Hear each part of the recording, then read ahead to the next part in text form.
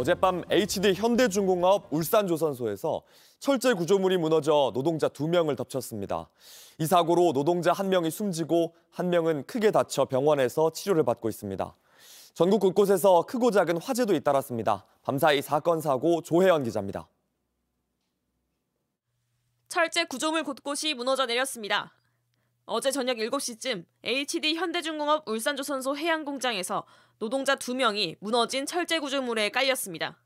이 사고로 60대 남성 A씨가 현장에서 숨졌고 50대 남성 B씨는 갈비뼈가 골절됐습니다. 모두 현대중공업 협력업체 소속 노동자들로 원유 생산 설비 블록을 이동하던 중 철제 구조물이 빠지면서 사고를 당한 것으로 파악됐습니다. 경찰과 노동당국은 중대재해처벌법 위반 여부 등 정확한 사고 경위를 조사 중입니다. 어젯밤 9시 반쯤 경기도 이천의 비닐하우스에서 불이 났습니다. 이곳에 살던 80대 남성 한 명이 숨졌습니다. 불은 비닐하우스 7동을 태운 뒤 1시간여 만에 꺼졌습니다. 소방은 전기적 요인을 원인으로 파악하고 구체적 화재 원인을 조사하고 있습니다. 비슷한 시각 전남 한평의 한 단독주택에서도 불이 나 36분여 만에 진화됐습니다. 다행히 인명피해는 없었지만 주택 한 채가 완전히 불에 탔습니다. JTBC 조혜연입니다.